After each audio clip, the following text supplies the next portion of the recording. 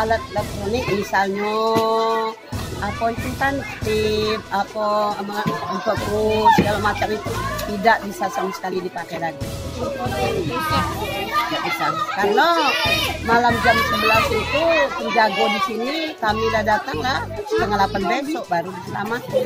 Jadi airnya banyak